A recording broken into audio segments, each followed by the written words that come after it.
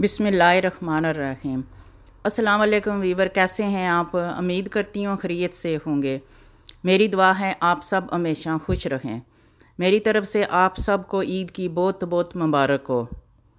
Weaver, मेरी daughter ने, मेरी ग्रैंड डॉटर को मेहंदी लगाई ईद पर तो वो मैं आपसे शेयर करती हूँ।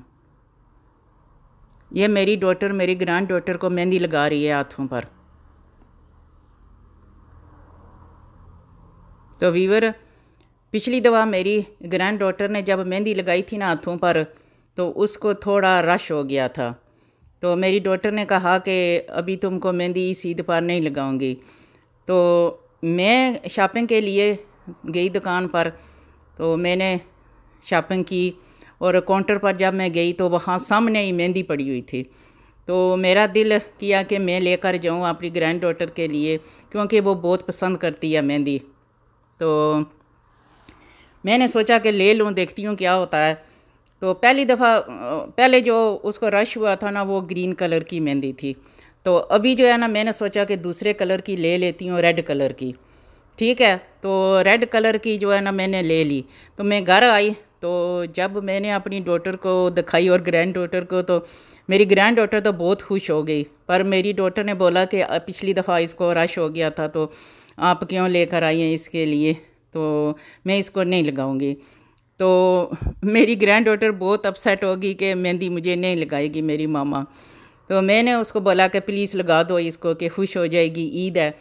तो उसने बोला कि इसको पिछली दफ़ा रश हो गया था तो अभी अगर हो गया तो फिर। मैंने उसको बोला कि ठीक है, पहले तुम इसको थोड़ी लगाओ चेक करो तो फिर इसको लगा देना। उसने बोला ठीक है फिर उसने चेक किया तो थोड़ी देर उसने रखा हाथ पर तो उसको जो है ना रश नहीं हुआ इस दफ़ा। तो फिर उसने इसको मेहंदी लगा दी। फिर मेरी डॉटर ने उसके हैंड पर ये अरबी के रोज़ मेहंदी डिज़ाइन बनाया।